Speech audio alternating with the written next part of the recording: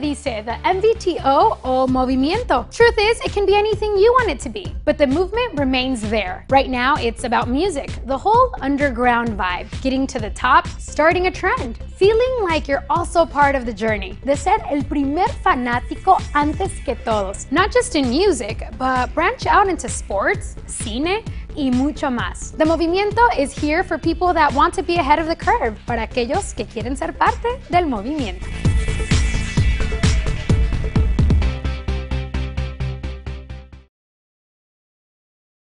Trains long like a train. Hey, if I'm old, I use a cane. Stock it up and watch it grow. What's on your playlist this weekend? We'll be playing